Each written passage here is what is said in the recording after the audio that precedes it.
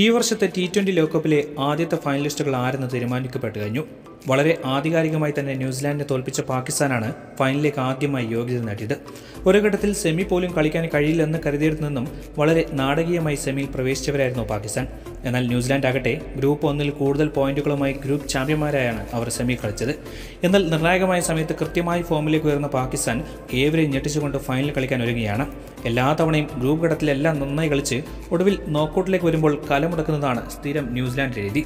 ഇത്തവണയും അവർ പതിവ് തെറ്റിച്ചില്ല. നോക്കൌട്ട് മത്സരങ്ങളിൽ ഇന്ത്യക്കെതിരെ മാത്രം നന്നായി കളിക്കുക എന്ന കുപ്രസിദ്ധമായ പ്രവൃത്തി അവർ ഇത്തവണയും ആവർത്തിച്ചു. ഇന്ത്യക്കെതിരെ എല്ലാ തവണയും നന്നായി കളിച്ച് ഇന്ത്യയുടെ വഴിമുടക്കികളാവുകയാണ് ന്യൂസിലാൻഡിന്റെ പതിവ്.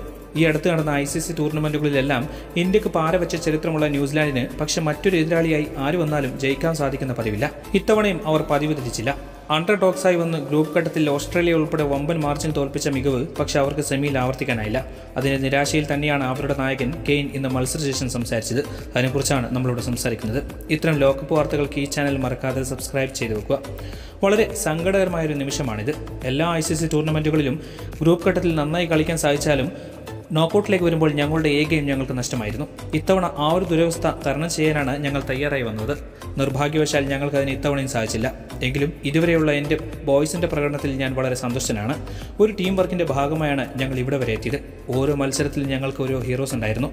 ടൂർണമെന്റ് ഫേവറേറ്റ്സ് ആയിട്ടുള്ളവർക്കെതിരെ വരെ ഞങ്ങൾക്ക് മികച്ച പ്രകടനം പുറത്തെടുക്കാൻ സാധിച്ചു.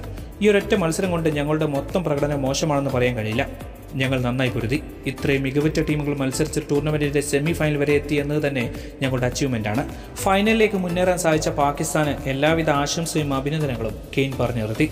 ഇന്ത്യ വെച്ച് ബാക്കി ടീമുകൾക്കെതിരെ വന്നാൽ നോക്കൌട്ടിൽ മുട്ടടിക്കുന്ന ന്യൂസിലാൻഡിന്റെ ഈ രീതിയെപ്പറ്റി നിങ്ങളുടെ അഭിപ്രായം എന്താണ്? നിങ്ങളുടെ അഭിപ്രായങ്ങൾ താഴെ കമന്റ് ബോക്സിൽ കുറിക്കുക ചാനൽ സബ്സ്ക്രൈബ് ചെയ്യുന്ന കാര്യം പരിഗണിക്കുക. മറ്റൊരു വീഡിയോയുമായി നമുക്ക് ഉടനെ കാണാം.